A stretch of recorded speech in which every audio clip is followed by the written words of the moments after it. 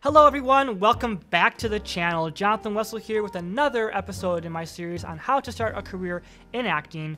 Today we're going to talk about auditions, so let's jump right in. Let's face it, auditions are one of the most common things an actor has to do. We are probably auditioning way more than we're ever performing on a film or play. It's basically our full-time job. We're not full-time actors, we're full-time auditioners. So it is really important to be very, very good at the audition game. I do have a previous video on how to prepare for auditions. You can check that out by clicking the link above, and I'll also put a, a link in the description, but it's gonna be very important to be able to audition. What I wanna focus on today is how to find auditions. You'll want to definitely join casting sites. Actors Access is one of the places to go for auditions. You will pay per submission or you can do the yearly fee. Either way, it's definitely a place you need to go to. And if you are represented by an agent, you will be required to join this casting site. So join Actors Access. Casting Networks is another great one, and again, it's another site that you will be required to join by your agent.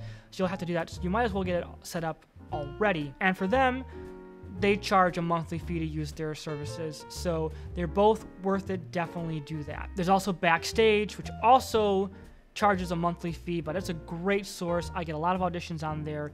Definitely recommend doing Backstage. They also have a lot of great resources that you can check out as well articles, blogs, and whatnot. So definitely check it out for that as well. Then there's IMDb Pro. If you're a serious actor, you definitely want to have IMDb Pro It gives you a lot of insight into the industry, but it's also a great place for casting calls.